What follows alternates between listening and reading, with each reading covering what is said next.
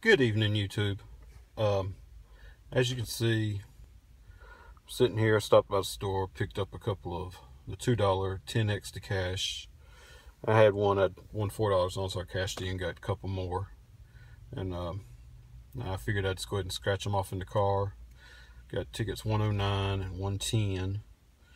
And as you can see, ticket uh, 110 was a complete loser, which I'm starting to get used to on these tickets here lately. I ain't done too good. I mean, done some, but not real good on them.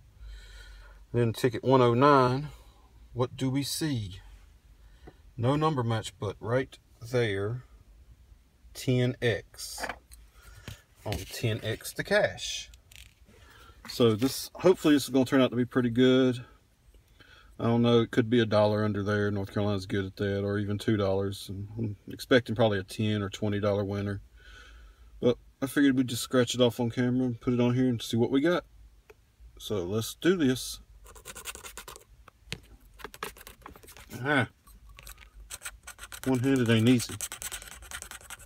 It's $1, so it's a $10 win, which, I mean, $2 ticket, $4 spent, 10 bucks back, $6 profit. Hey, I ain't gonna complain too much. A win's a win. All right, well, hope everyone's had a good day. Hope you have a good nice evening, and we will talk to you later.